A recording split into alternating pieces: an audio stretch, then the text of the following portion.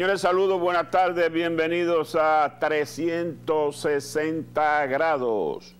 Señores, un placer inmenso, placer compartir la jornada de este día con todos ustedes. Es martes, martes 6, 6 de diciembre, año 2022. Hoy debo decirle que se celebra el día de San Nicolás de Bari. Y es un santo importante. Aquí en Santo Domingo hay un restaurante que se llama El Mesón de Bari. Pero la Iglesia Católica celebra hoy el día de San Nicolás de Bari. Un día interesante. Da cuenta de que el tiempo está bueno porque está fresca la temperatura. Esta tarde ha estado lloviendo aquí en la ciudad de Santo Domingo, aunque no intensamente. Y el informe de la Estación Central de Meteorología da cuenta de que realmente se presentarán durante todo el periodo y sobre todo con énfasis en la tarde-noche, lluvia, aunque no de gran intensidad. La única amenaza es un oleaje anormal que hay en toda la costa atlántica y la recomendación correspondiente a las pequeñas embarcaciones para que no se aventuren en mar abierto. Aquí se está sintiendo una brisa fría en hora de la tarde, tardecita, la noche y en la madrugada bastante fría. Reporta en Suriel desde el fin de semana que la temperatura allá arriba en la alta montaña han estado bajo cero el sábado estuvo menos 4 grados en Valle Nuevo, Constanza y en Polo, Barahona también.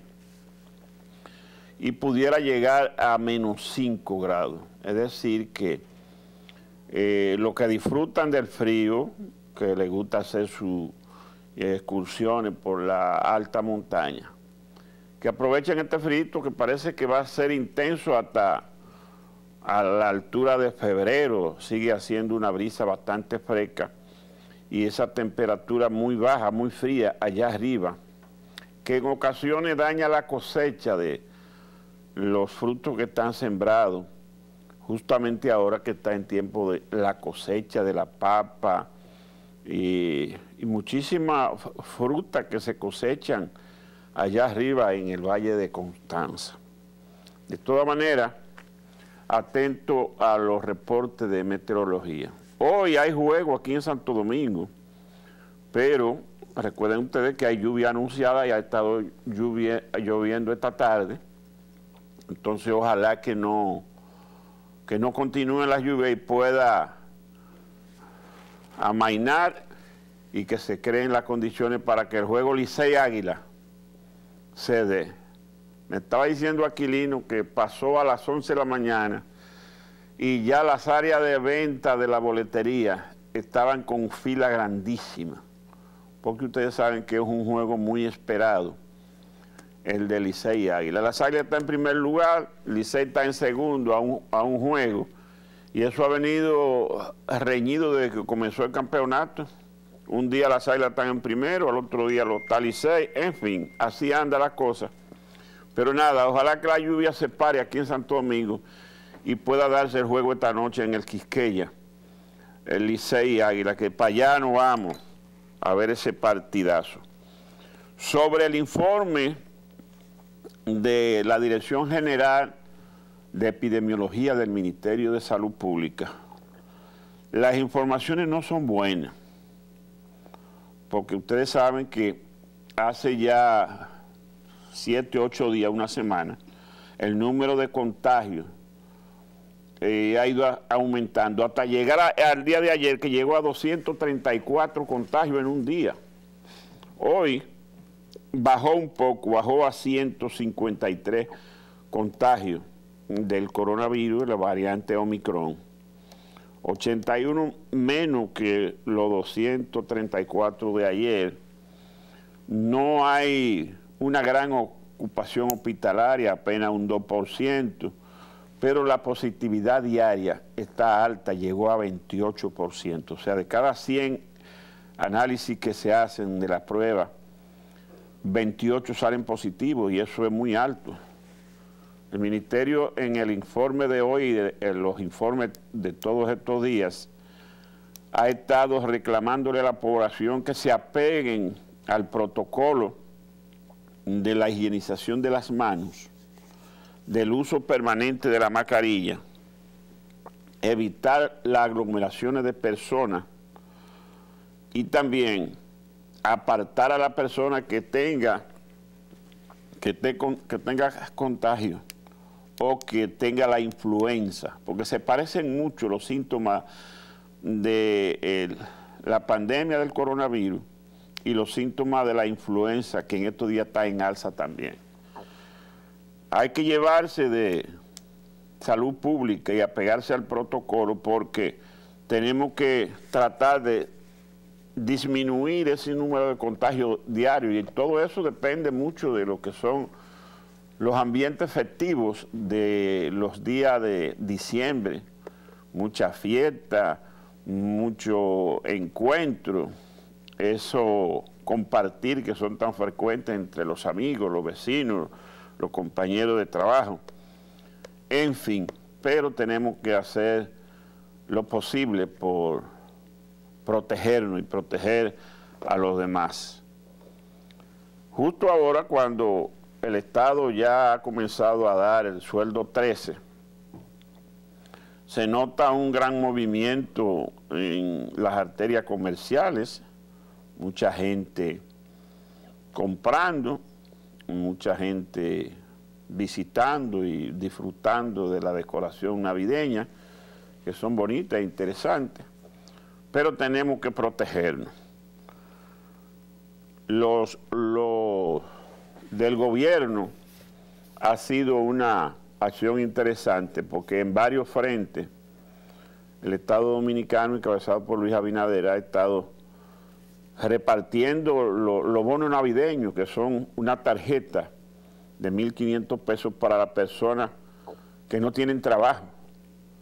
Y ayer esos repartos comenzaron en el Club Mauricio Báez, donde el presidente invitó la barriada de Villajuana a un almuerzo que se desbordó, porque se regó la voz de que el presidente iba para allá y se fueron de todos los barrios, no solo de Villajuana, y llenaron, colmaron el Mauricio Báez, que se quedó más gente afuera que adentro, y comenzaron a reclamarle al presidente que lo que querían era funda, canasta, no tarjeta, y el presidente tuvo que hablar y decirle, Miren, yo no estoy contra la canasta, pero nosotros creemos que una tarjeta es más digna que una canasta por la forma en que eso se distribuía, que eran aglomeraciones y, en ocasiones se atropellaban eh, personas mayores, damas, en busca de esa canasta y gente que se beneficiaban de más de una.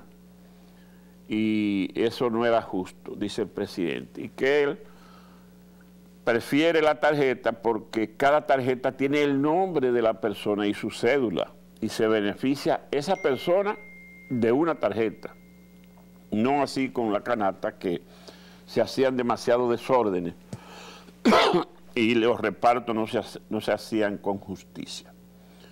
De todas maneras, hoy el presidente, que ha estado muy activo, salió temprano hacia Higüey para darle el pésame a la familia de Amable Aristi Castro, que falleció el domingo en hora de la tarde. Y hoy fueron los actos funerales.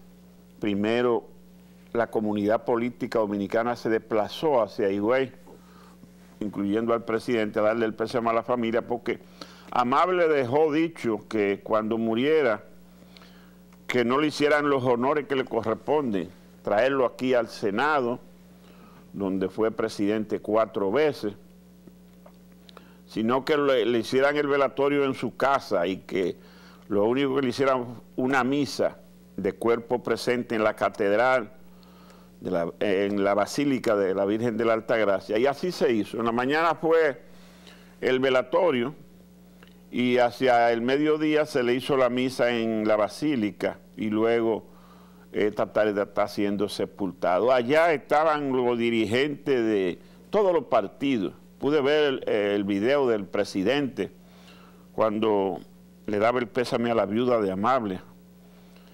Y también el expresidente Danilo Medina estuvo allá acompañado de dirigentes de su partido y otro dirigente político de diferentes eh, instituciones políticas. Ahí ven ustedes el presidente de la Cámara de Diputados. Amable fue diputado también y fue compañero de toda esa gente que ustedes ven ahí en el Congreso.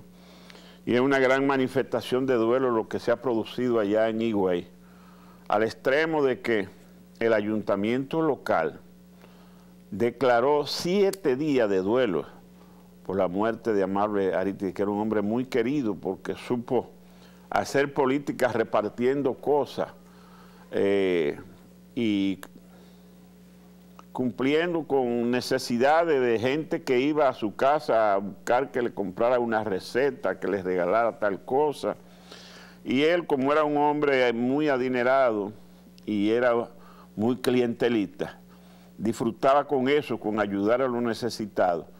Y hoy toda esa gente tuvieron en el velatorio, recordando y llorando a amable Aristis Castro. Nosotros lo conocimos lo tratamos, un hombre esencialmente bueno, muy amable como su nombre, y un hombre que siempre estaba contento y sirvió de, mediador en muchísimos conflictos de intereses entre políticos, entre eh, el empresariado, siempre estaba dispuesto a ayudar, a colaborar. De ahí que nosotros le deseamos paz a sus restos. El presidente Luis Abinader aprovechó su presencia en Higüey para hacer una jornada de esa larga que él acostumbra hacer. De ahí de la casa de Amable Aristi se trasladó al Ceibo, donde hizo un reparto de la tarjeta de los bonos navideños e inauguró un proyecto habitacional de unos 200 apartamentos y también se reunió con la dirigencia de su partido, el PRM, para luego trasladarse a Miche, donde dejó inaugurado el Hotel Tentación, Pasión Tentación Resort, una inversión eh, extranjera de capital norteamericano con capital de la familia Cisnero de Venezuela, y una, un hotel boutique muy interesante. No lo conozco, pero me dicen que, que es una preciosidad. Igualmente el presidente dejó inaugurado el tramo carretero que conduce desde, desde la autopista hasta la playa Esmeralda, que es la playa eh, que está siendo promovida ahora para los inversionistas porque es una preciosidad, es un paraíso.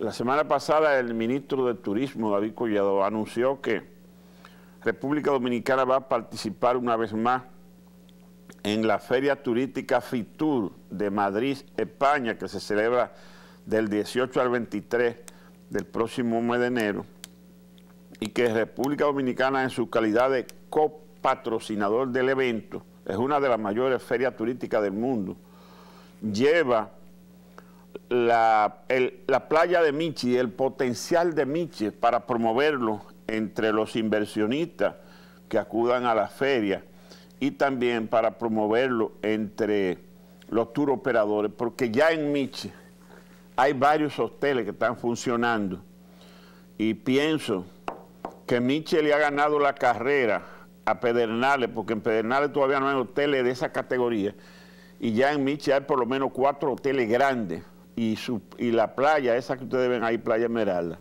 es una preciosidad, y ya tiene hoteles en la cercanía, tiene la carretera que viene desde Capcana, Punta Cana, Bávara, Ubero Alto, atraviesa todo ese litoral hasta llegar a Miche una, muy buena carretera. Entonces Miche ya está preparado para eso que ha anunciado el ministro de Turismo, promover su potencial como destino ecoturístico, porque también tiene, así como tiene una preciosa playa, tiene una montaña para hacer senderismo, para hacer eh, muchísimo deporte de esos que se hacen en, en camino accidentado y en las montañas. de ahí la importancia de eso que el presidente está inaugurando hoy en Miche. Señores, tengo que darle la excusa del compañero Elías Ruiz Matú, que no nos está acompañando en esta primera parte de 360 grados, porque justamente Elías está en Higüey, está cumpliendo compromisos profesionales en los actos funerales de Amable Aristi Castro. Pero él nos explicó que si llegaba antes de terminar el programa, pasaba por aquí. Vamos a esperarlo y si no, los excusamos porque está bien excusado. Señores, la pausa, los comerciales, regresamos.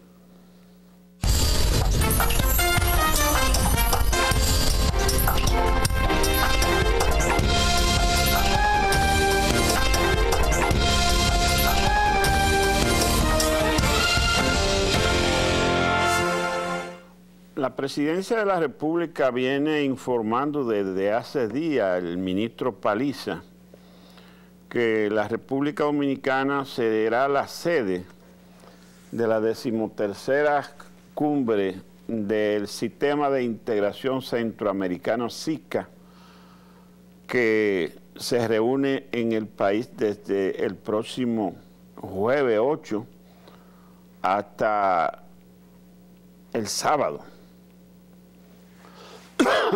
y que el presidente servirá de anfitrión. Es un evento que reúne, se va a celebrar en Santiago, la ciudad de Santiago, por primera vez. Es un evento que reúne ocho presidentes de la región, todos los presidentes centroamericanos estarán aquí presentes, excepto el de El Salvador, Bukele, porque su compromiso no le impiden estar presente, aunque él tiene mucha, mucha empatía con el presidente Luis Abinader, y como él ha dicho por las redes que él liceísta y que el presidente es aguilucho, él quería venir a un juego Licey Águila en Santiago, pero no va a poder estar presente en la cumbre que se inicia el jueves y qué interesante por varias razones. Primero, por la cantidad de presidentes que, que estarán presentes. Segundo, porque es en Santiago la segunda ciudad de, de importancia del país y Santiago se merece ese tipo de evento porque Santiago es una metrópoli y tiene las condiciones para ello. El evento se va a celebrar como en la sede de el teatro, el Gran Teatro del Cibao, que es una réplica del Teatro Nacional, incluso como es su construcción más reciente, mucha gente dice que aquel es más moderno, aunque un tanto más pequeño. Y para ello se ha hecho una gran inversión de aire acondicionado nuevo, que siempre estaba defectuoso, todo alfombrado, un área de, de esparcimiento y hasta el monumento ha sido acondicionado porque creo que ahí habrá un concierto. Y tiene una particular importancia y es que dentro de las actividades de, de ese evento, la cumbre de Sistema de Integración Centroamericano, se va a inaugurar en Santiago la Casa Presidencial. El presidente no tiene casa en Santiago. Tuvo una con, en los años de los 12 años de Balaguer, pero era la casa donde vivió el presidente Balaguer, que Balaguer la mandó a condicionar para cuando él estuviera en Santiago, eh, pernotar allí en su casa vieja. Y de hecho, para una campaña, el presidente Balaguer se mudó allá a Santiago durante un mes. Y recuerdo que arrasó en las elecciones. Bueno, pues esta vez el presidente Luis Abinader va a inaugurar la casa presidencial, que es la antigua vivienda de Monseñor Agripino Núñez Collado. Yo conozco esa residencia, es muy grande, bonita, acogedora, y desde ahí el presidente la va a inaugurar con la presencia de esos presidentes invitados a la cumbre del SICA, que estarán presentes allí, y allí va a dar eh, una cena y va a presentar la casa presidencial. Presidente, cuando Trujillo, Trujillo tenía una casa en diferentes puntos del país, Balaguer también, Balaguer tenía una en San Juan de la Maguana, en una montaña por allá arriba, tenía otro en Guaygüí, La Vega,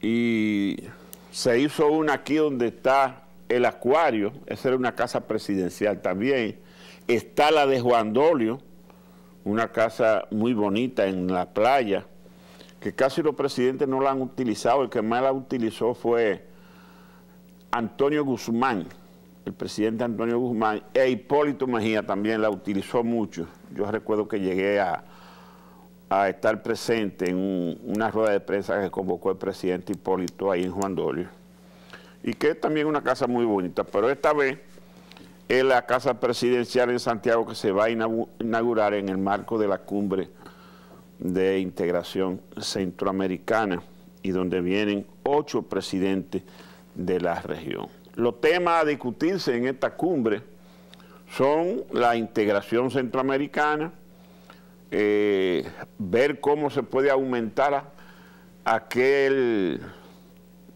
aquel evento convocado por el presidente Luis Abinader, que en, principio reunió dos presidentes, el de Costa Rica y el de Ecuador, y que luego se ha ido ampliando. Y quizá ahora algunos presidentes de los que estaban presentes se sumen a ese esfuerzo de integración democrática que le llamó el presidente Luis Abinader. Vamos a estar pendientes de lo que suceda en esta cumbre que arranca el jueves y que termina el sábado.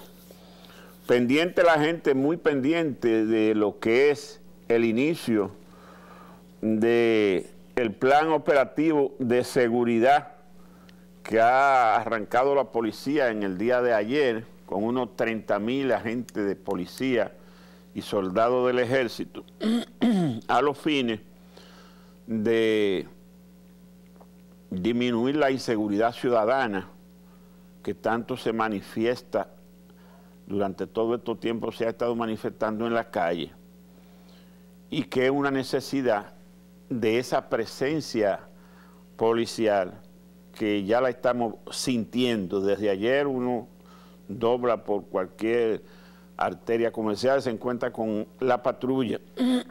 Simultáneamente también se ha iniciado el programa de seguridad perimetral en lo que es el centro de la ciudad de, Santo Domingo del distrito, que tiene un patrullaje permanente 24 horas y que ese no es un, operativo, sino un programa permanente que se irá ampliando a otros sectores del Gran Santo Domingo hasta cubrir todo el territorio del distrito y Santo Domingo Este. Es un esfuerzo interesante y conjuntamente con ese esfuerzo de ahora de el aumento del plan de seguridad navideña para garantizar que la gente que le gusta tomar lo ajeno no siga atracando en la calle ahora que la gente tiene un dinerito extra y sale a gastarlo. Bueno, pues ojalá esto dé su resultado. Y yo creo que sí, porque la delincuencia, la violencia delincuencial llegó a un grado tal que la gente no se sentía segura en ninguna parte ni quería salir. Perdón. Pero Hace ya un par de semanas la policía ha estado haciendo un operativo recogiendo los antisociales y de qué manera. Cuenta uno de los periódicos que en los últimos 30 días por lo menos 33 antisociales han caído en intercambio de disparos con un agente de la policía y eso era lo que la sociedad estaba esperando porque la delincuencia estaba desbordada, la policía no hacía nada y ya está por lo menos eh, haciendo el trabajo que tiene que hacer para devolverle la tranquilidad a, la sociedad. Ojalá pueda lograrlo justamente ahora cuando se discute el tema de la, de la denuncia que ha hecho el español Pepe Vila, que es el comisionado de la reforma policial, diciendo que la policía llegó a un grado tal de corrupción que se vendían no solamente los cargos, los ascensos, sino hasta la ropa, hasta un cambio de arma que quería un, agente, que tenía un revólver, o quería cambiar por una pistola, tenía que pagarlo. Y que los uniformes tenía que comprarlo, porque no se los regalaban como es las costumbres en los cuerpos armados y la Policía Nacional, que a cada gente le, dan un uniforme, uno de trabajo y uno de gala. Esto tenían ellos que comprarlo y cuando iban a un desfile le daban el, uniforme y cuando el desfile se, terminaba tenían que quitárselo y entregarlo. Hasta ese extremo, dice Pepe Vila, que llegó la corrupción en la policía. Y eso ha servido para que 10 ex jefes de policía le salgan al paso, rechazando esa denuncia y pidiéndole a Pepe Vila que presente prueba de esa situación y que si no la presenta, ellos se reservan el derecho de hacerle una demanda, someterlo a la justicia por injuria, difamación, solicitar que se declare persona no grata en República Dominicana y también que sea expulsado. Esos son los movimientos que se dan dentro de los planes de la reforma policial, el patrullaje en ocasión de la Navidad y el ambiente que se está respirando en el país. Sobre el aspecto internacional le cuento que hay dos eventos que llaman la atención porque tienen un cierto parecido. Uno se está dando en China y el otro en Irán. En China, hace tres semanas, la población se ha molestado y ha comenzado a protestar porque el gobierno frente al aumento de los contagios del coronavirus ha puesto restricciones para evitar los contagios. Pero esas restricciones en China, que es un gobierno de fuerza, es confinamiento total. Nadie puede ni siquiera abrir una ventana en su casa ni salir a la calle por 14 días y eso lo ha protestado la población de forma abierta, porque está viendo el Mundial de Fútbol, donde la gente está sin mascarilla y donde la gente está circulando libremente y nada pasa. Sin embargo, en China, por un caso que se dé en una provincia, la provincia entera queda confinado por 14 días. Y esa forma arbitraria de de controlar, el gobierno dice que es para evitar los contagios y tener control de la enfermedad, pero la población no, no lo acepta. Y el gobierno, después de tres semanas de protesta, ha anunciado que por lo menos en la provincia de Shanghái, que es la capital comercial de China, se va a ir liberalizando la drasticidad de las medidas para prevenir el COVID y qué bueno que sea así. La otra parte es lo que se está dando en Irak. En Irak, la policía moral, que es la que tiene que ver con el control de las costumbres de la población, apresó a una muchacha, a una jovencita de 16 años, y la golpeó porque estaba violando el código de vestimenta. Ustedes saben que allá en Irak hay que ponerse un velo, una cosa, no se puede enseñar ni la pierna la muchachita salió un poco de, desabrigada, la policía la encontró, la golpeó y la mató. Bueno, pues eso hace tres meses. y la población tiene tres meses protestando esa forma arbitraria y protestando de mala manera porque las mujeres están saliendo a la calle en vestido, sin la, manta que se ponen en la cabeza, eh, poniéndose pantalones que no lo acepta la población. Y eso ha provocado mucha violencia y mucho muerto durante esos tres meses. Y en el día del pasado domingo, el gobierno de Irán anunció que había disuelto la policía moral por la forma arbitraria en que mató a esas niñas y en la forma drástica que estaba reprimiendo la protesta.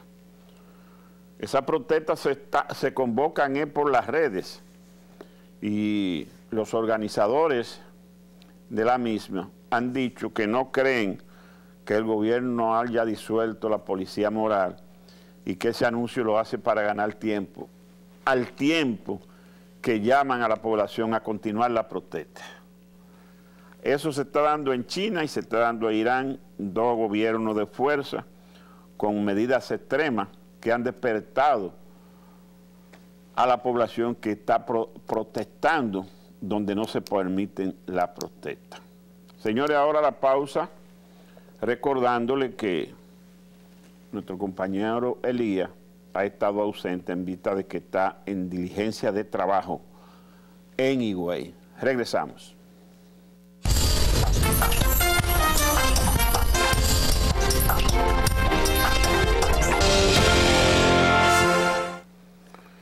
El periódico Listín Diario en su edición de ayer trajo lo que parece ser una guerrita interna en el seno de la jerarquía de la Iglesia Católica que envuelve varios obispos. Y todo salió a relucir a partir de la muerte del ingeniero Nino, hermano del, del obispo Osoria, que es el obispo de la ciudad de Santo Domingo, y que Osoria en la misa de su hermano muerto hizo unos comentarios dentro del mismo oficio religioso, donde decía que su hermano era un hombre serio, decente, y, y que no se había enriquecido al amparo de la Iglesia Católica como le hicieron un informe al Vaticano denunciando esa barbaridad contra un hombre serio y decente. Pero nadie sabía de eso. Sin embargo, eso trascendió porque ese discurso ha estado rondando muchísimos medios de comunicación, donde se dice que quien envió el informe de esa situación al Vaticano fue el padre Masalle de Higüey. Y los comentarios dan cuenta de que ciertamente Masalle hace un tiempo en el pasado reciente, hizo una crítica severa de que el liderazgo de la Iglesia Católica estaba vacío después que el cardenal López Rodríguez pasó a retiro y que no había una voz tan alta como aquella y que la iglesia se sentía huérfano de esa voz eh, alta y clara en la sociedad dominicana que le diera peso específico a la iglesia católica. Bueno, hasta ahí eso se conoce esa parte, pero hay quienes dicen que eso ha ido mucho más lejos y que va a seguir porque envuelve a otros obispos que son tan críticos como Masalle de la forma eh, pasiva en que el obispo Osoria maneja su investidura. Eso siempre se ha dado en las instituciones en las diferentes instituciones, diferencia de opiniones, pero en la iglesia no se había dado eso hace mucho, a esos niveles que envuelvan obispos de esa calidad. Y ojalá eso se pueda resolver y no, y no pase de ahí de esos comentarios que se están haciendo al margen de esa situación en los medios de comunicación. Otra situación difícil se está presentando en el Partido de la Liberación Dominicana a partir de la renuncia de gente importante que ha estado saliendo de ese partido. parece que inconforme con la forma en que se está manejando. El primero en salir, digo, salió un grupo grande cuando la crisis que Leonel hizo un partido aparte, el expresidente Fernández. Fueron muchísimos dirigentes importantes, Bauta, eh, Franklin Almelda, eh, Radamés Jiménez, como 20 figuras de primer orden, más de 20, y el propio Leonel Fernández. Bueno, ese partido ha estado recibiendo gente importante desde entonces. Después se fue miembro del comité político Rafael Paz, que era miembro del comité político. Después se fue Valentín, Julio César Valentín, el ex senador de Santiago, y se llevó una gran cantidad de personas. Todo el mundo sabe del disgusto que tiene Margarita, que no ha vuelto a las reuniones después que perdió la consulta aquella, que ganó Abel Martínez. y ahora, en el día de hoy, se ha anunciado que 100 dirigentes importantes de Santiago, incluyendo síndicos, regidores y diputados, presentaron renuncia al PLD en el día de hoy para sumarse a Valentín, que ha hecho tienda aparte. Y esos comentarios añaden que en, en los próximos días presentarán renuncia del comité político Ventura Camejo, que es miembro del comité político, y Félix Nova, el ex senador de Bonao. El comité político del PLD se reunió ayer y anunció la designación de varios miembros del comité central que habían renunciado recientemente y que en los próximos días anunciará la designación de dirigentes que van a ocupar los cargos a los que han renunciado varios dirigentes del comité político. Eso está ardiendo en el PLD, porque eso es lo que, lo que sale y que ha trascendido, pero siempre detrás de eso hay nuevas cosas, hay más cosas, y uno sabe que el disgusto es grande en ese partido y que no todo el mundo está conforme con la forma en que se está manejando. Parece que a partir de la elección de, o la escogencia de, Abel Martínez como precandidato presidencial, las cosas se han ido eh, inquietando hacia el interior del PLD. Y eso pasa siempre, cuando un partido como el PLD, que duró 20 años en el poder y sale del poder, siempre hay ese reflujo esa estampida de gente que cree que ya ese, ese partido cumplió con su, su papel histórico y busca nuevos horizontes. Mientras tanto, quien se está beneficiando de eso es el partido Fuerza del Pueblo del expresidente Leonel Fernández, que está calladito pero está haciendo su trabajo. Yo estuve por el este en, en el fin de semana y conté por lo menos una docena de vallas grandísimas que tienen el rótulo de Leonel Fernández y, solo tienen un escrito que dice inscríbete. Pero él está haciendo su campaña, se está moviendo cada fin de semana hacia distintas provincias y parece que su trabajo está dando resultados. Señores, se nos acabó el tiempo, tenemos que despedirnos. Solo decirle que el que no pueda ir al play hoy a ver Licey Águila, que lo vea por televisión o lo escuche por radio. Señores, hasta mañana.